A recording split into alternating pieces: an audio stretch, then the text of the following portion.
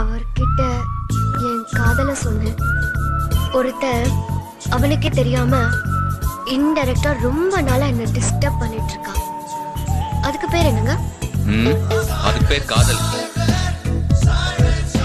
என்ன பிரச்சனை? கொஞ்சம் தெளிவா சொல்லுங்க. இதே ப்ராப்ளம் எது?